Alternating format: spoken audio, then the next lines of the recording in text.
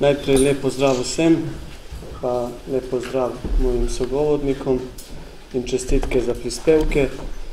Nisem včeraj seznanjen, da danes bom govoril, pa se v tem imenu eh, eh, tudi opravičujem v imenu gospoda Poriča, ki zaradi obveznosti ni danes eh, tukaj z nami, z vami.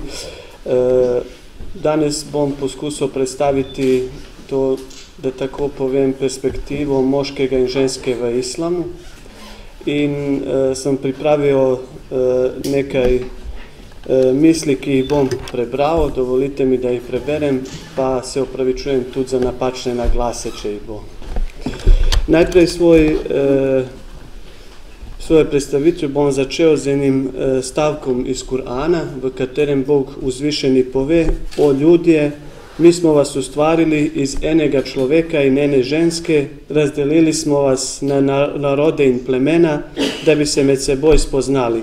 Pri Allahu je najbolj ugleden tisti, ki se ga najbolj boji. Allah res vse ve in nič mu ni skrito. Torej, pred Bogom sta moški in ženska enaka, edini kriterij razlikovanja med ljudmi je zavest o Bogu, med kar štejemo delovanje in življenje z nenehno zavestjo o Božji prisotnosti. Biološke razlike so nam dane in tega nihče ne zanika in nihče in ne zavrača, težava se pojavi, ko se na osnovi teh razlikah degradira ženska v svojem dostojanstvu človeškega bitja in ko se takšna politika sklicuje na interpretacije božanskih sporočil. Pomeni, da E, imamo takšne slučaje, kje ljudje svojo politiko, svoje razumevanje potem sklicujejo se na e, božanska sporočila. To je u nasprotju s temeljnimi kuranskimi načeli, saj Kur'an širi nauko spolne enakopravnosti kot ontološkem dejstvu istega. Logično je, da ne more širiti nauka o neenakopravnosti moškega in ženske, zaključuje Esma Barlas, ena od muslimanskih feministk. Danes ženske in moški, ki stvaritev doživljajo kot začetek skupnega življenja in delovanja dve zavestni in z umom obdarjeni biti, skupaj na, poskušajo najti nov način in dojemanje spolne politike, ki ne more ponuditi zadovoljivega odgovora, če bo še naprej pozicionirana na nepopustljivih horizontih. Seveda vprašanje položaja in pravic ženske v islamu je gotovo ena od najpogosteje omenjenih in analiziranih tem v sodobnem diskurzu o ženski. Tako kot žensko vprašanje nasploh je tudi vprašanje ženske v islamu služilo in služi za ideološko polaganje računov med muslimani in med muslimani ter drugimi. Tu moramo omeniti, da se islamska hermeneutika v tem vprašanju razlikuje v odvisnosti od časa in prostora, na katerem je nastajala, ter v političnem, kulturnem in tradicionalnem mišljenju, v katerega je predana. Neredko se pod krinko islamskih vrednot poskuša manipulirati z ženskimi in kontrolirati brez argumentov. To seveda ne pomeni, da ne obstajajo splošne smernice in islamski predpisi, ki se tičejo žensk in njihove uloge in položaja. V Kur'anu se ženska omenja na več mestih. Eno celo poglavje oziroma sura nosi naslov ženske, en nisa. Omenjajo se v različnih kontekstih, ki so povezani z njihovimi pravicami, obveznosti in njihovim delovanjem. Ker so opisane zahteve za moške, so enake zahteve prepisane tudi za ženske. Obljube o nagradah in kaznih, kar je odvisno od človekovih del, so enake za moške in ženske. Edina ženska, ki je poimensko omenjena v Kur'anu, je Merjem, Marija, mati Isa ali Selama oziroma Jezusa. Ona pa je dosegla najviše duhovne ravni. Druge ženske, tudi omenjene v Kur'anu oziroma o katerih govori Kur'an, a jih ne imenuje, so recimo Belkisa, kraljica od Sabe, ženska, ki je bila in kraljica, vladarica prva ženska Hazreti Hava oziroma Eva in številne druge ženske, ki svojimi dejanji kažejo dobre in slabe človeške lasnosti. Pogovor o pozicioniranju ženske znotraj islamskega nazora je v veliki meri pogojen s perspektivo, ki se zauzema v odnosu na ideju o, stvar, o stvarjanju ljudi oziroma žensk in moških, ki pa je kot takšna osnova za nadaljnje ontološko, teološko in sociološko definiranje ženske. O tej temi so pisali številni in so nudili različne interpretacije ajetov, Eh, ki govorijo o stvaritvi žensk. Zato je razumevanje ženske in njene vloge in položaja v svetu široka in večbarvna, pa tudi med sami muslimani. Stališča islama razlika med moškim in žensko ni samo biološka ali psihološka, temveč ima svoje korenine v sami božanski naravi. Kur'an pravi, slavljen je tisti, ki je vse ustvaril v parih. Tudi mi smo vas ustvarili v parih. Moška in ženska polarizacija je ključni del skrivnosti Božjega ustvarjanja. Vsak spol je človeško bitje z, be, z besmrtno dušo, oba spola sta enaka v svoji religijski odgovornosti, enaka sta pred Božjim zakonom.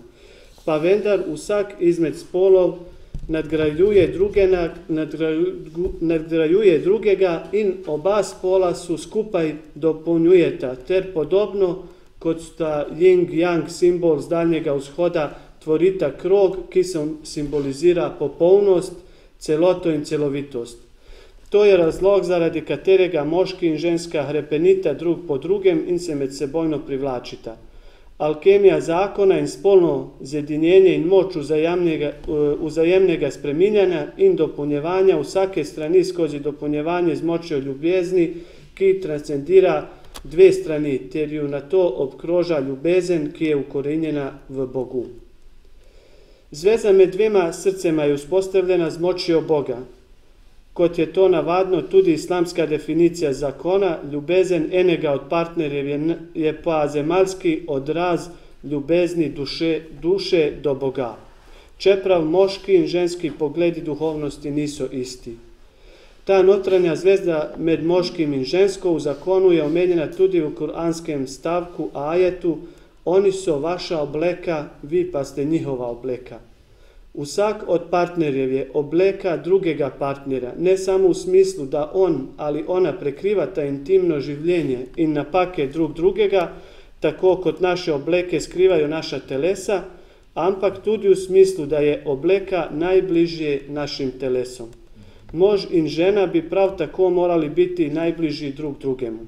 Ni potrebe po izpostavljanju tega, da niso vsi zakoni popolni ne v islamskem svetu in ne na zahodu, a ideali, ki so predstavljeni v Kur'anu, so ostali živi in bojo in bodo ostali živi. Pomembno je najprej opaziti, da tisto, kar se premisli v islamskem svetu, predstavlja rezultat ne samo jasno izraženih islamskih naukov, ampak tudi običajev in navad družb, v kateri je vstopil islam. Danes uh, se dogaja tako, da se prav uh, posplo, uh, prihaja do enačenja in posploševanja eh, določene kulture z islamom in tako naprej. Islamski nauki poudarajo, da kljub temu, da so moški in ženski enaki pred Bogom in zakonom, se morajo dopolnjevati v družinskih odnosih in socialnem življenju. Enakost pred Bogom in zakonom ne razveljava bivstva na dopolnjevanja. Včasih so me vprašali, če so moški in ženske v islamu enaki. Moj odgovor je vedno bil, da so enaki pred Bogom, ko se bodo srečali z zadnjimi eshatološkimi resničnostimi in pred zakonom, a v svetovnih raz, razmerah niso vedno enaki. Še nekaj besed o tra, tradicionalna struktura islamske družbe ni utemeljena na kvantitativni enakosti, ampak na resničnosti nadopolnjevanja, čeprav poznamo tudi izjeme.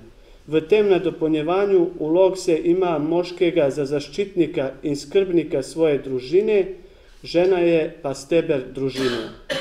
Kot vse tradicionalne družbe je islam počastio trud matere in gospodinje in ga pri tem uvršča med največje vrline, pa je poslanec Muhammed na emir z njim rekel, džennet, raj leži pod materinimi nogami. Kar pomeni, da islamska družba je posebe, posebej davala vrednoto za eh, materinstvo. Še nekaj eh, imam pripravljeni, ampak bom eh, samo povedal to, da je veliko vprašanj, o katerim bi zdaj lahko govorili, eh, ki so mogoče tudi medijsko izpostavljene zanimive, po, recimo eh, pokrivanja ženske eh, obraza pa tako naprej.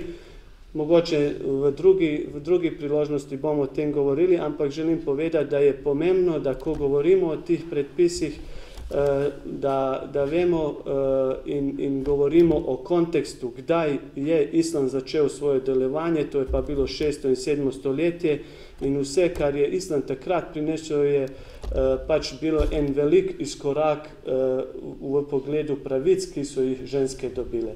Seveda, eh, ko govorimo o tradicionalni družbi, tudi moramo eh, govoriti o tej naši eh, družbi v modernosti, pač da tudi vse, kar je bilo v tradiciji, ne pomeni, da je pač nekaj, kar se mora živeti danes. Hvala vam.